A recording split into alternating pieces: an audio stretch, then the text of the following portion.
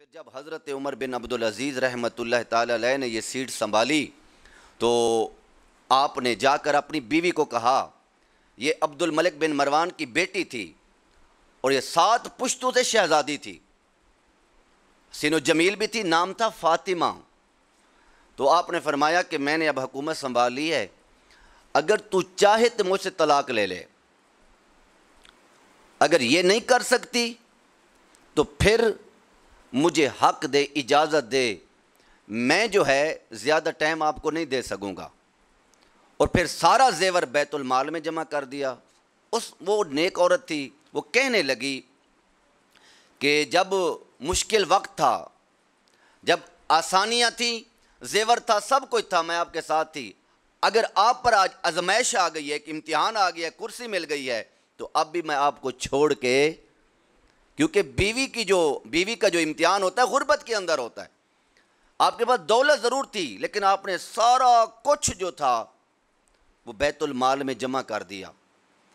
वो जो ज़मीनें, वो जो बड़े थे, जो मर गए, ज़मीनें जो थी, उन्होंने अपने नाम करवाई हुई थी खानदान, सारी हज़रत उमर बिन अब्दुल अज़ीज़ ने वापस ले ली।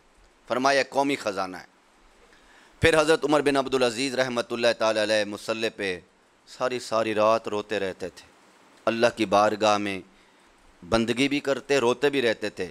आपकी बीवी फ़ातिमा कहती है, फ़ातिमा बिनत अब्दुल मलिक, कितने मैंने बड़े बड़े नेक लोग सुने भी हैं, पढ़े भी हैं, लेकिन आज तक उमर बिन अब्दुल अज़ीज़ जैसा खौफ खुदा रखने वाला बंदा ना कभी तारीख में पढ़ा है, ना देखा है।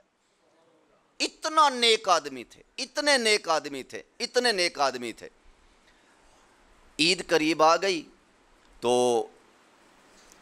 बच्चों ने अपनी माँ को कहा कि ईद करीब आ रही है, हमें कपड़े बनवा दें। ये फितरत भी है।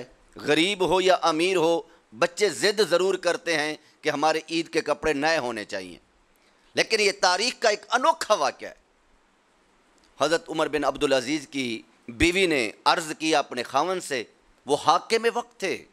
तीन बर आज़म, तीन बर आज़म पर हुकूमत थी। छोटे से मुल्क के टुकड़े पर हुकूमत नहीं करते थे। जब आपने हुकूमत संभाली तो पूरे तीन बड़े आज़मों में कोई ज़क़़त लेने वाला नहीं था, कोई सवाल करने वाला नहीं था। पूरे तीन बड़े आज़मों में कोई आपको ना मजलूम नज़र आता था, ना जालिम नज़र आता था। ऐसा इंसाफ का राज था। तो बीवी ने कहा, बच्चे कहते हैं, कपड़े लेके दें। आपने फरमाया, मेरे पास तो पैसे नहीं हैं। जो तनख्वाह मैं लेता हूँ, वो घर का निज़ाम चलता है। आपको पता है, जो हुकूमत चला तो मैं सिर्फ़ तनख्वाह पर गुजारा करता हूँ। बाकी कोई माल, एक रुपया, एक दिरहम मैं नहीं लेता। तूने कहा, फिर बच्चों का क्या करें? ईद तो गुजारनी है, बच्चे हैं, हक बनता है।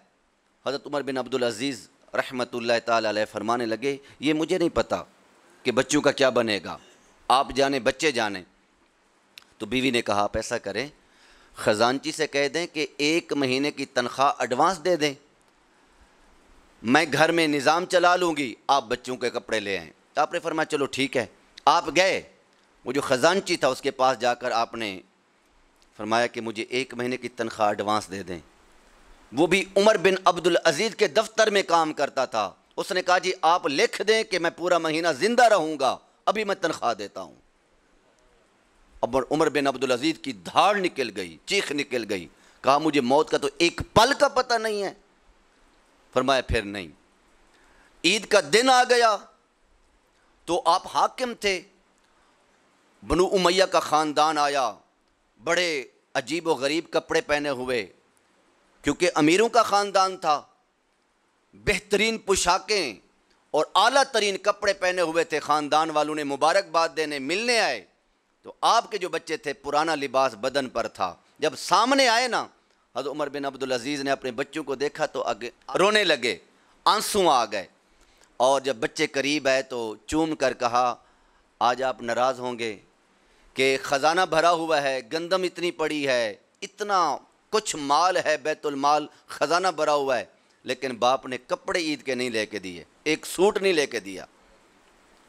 तो बच्चे भी तो उमर बिन अब्दुल अज़ीज़ के थे कहने लगे, अब्बा जी, आज हम शर्मिंदा नहीं हैं। आज हमारा सर फख्र से बुलंद है कि हमारे बाप ने कौम का ख़जाना चोरी नहीं किया। हम पुराना लिबास तो पहन के बैठे हैं। ईद हमारी गुजर जाएगी। चेजा के ख़ानदान के बच्चे अच्छे कपड़े पहन के खड़े हैं।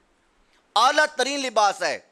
हमारा बदन पर जो लिबास है, फटा पुराना है पैमंद लगे हुए हैं। लेकिन आज भी हम शर्मिंदा नहीं हैं। हम फख्र से बैठे हैं कि हमारे बाप ने किसी एक का रुपया हराम का नहीं खाया, कपड़े लेके नहीं दिए ना, इज़्ज़त तो अल्लाह देता है। बंदे कपड़ों से नहीं तोले जाते। आपने देखा होगा कि लोग पचास पचास लाख की घड़ी पहनते हैं।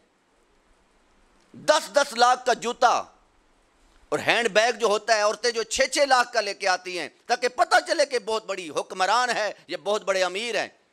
पैसों से बंदा अमीर नहीं बनता, ये इज्जतें अल्लाह देता है। व तो इज्जु मंतशा व तो जिल्लु मंतशा जब अल्लाह चाहे इज़्ज़त अता फरमाता है तो उमर बिन अब्दुल अज़ीज़ रहमत ने कैनात को बताया है, जो अल्लाह से डर जाता है, जो इंसाफ करता है, फिर अल्लाह उसे दुनिया में भी मकाम अता फरमाता है, मरने के बाद उसका चेहरा भी किबला की तरफ़ रहता है रहता है और चेहरा भी रोशन रहता है।